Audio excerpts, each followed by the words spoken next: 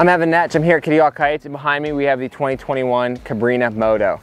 Cabrinha introduced the Moto into the line a few years ago, and what this kite's meant to be is really just that really well-rounded, performance-oriented three-strut kite that kind of suits you know, a wide variety of riding conditions and styles, but has that really nice, light, nimble feel that you get from a three-strut kite. Um, so, you know, whether you're riding a surfboard in waves, you're foiling, um, or you're riding a twin tip, you know, this, this, kite's really just kind of geared at, you know, all, all around performance, but keeping nice light bar pressure, um, and being a three-strut platform, you know, it kind of, you know, has really nice consistent pull through a turn. So, for kite loops, for wave riding, the kite does really well, but it sits farther forward in the wind window than say the drifter or other, you know, wave, wave oriented kites. Um, and that, that you know, the fact that it sits farther forward gives it that efficiency and that performance you kind of want in that flat water riding. So if you're looking for a well-rounded three strut kite, light in the bar, fast turning, that is the Cabrinha Moto. So for more information on this kite and the rest of the Cabrinha lineup, check out khkkiteboarding.com.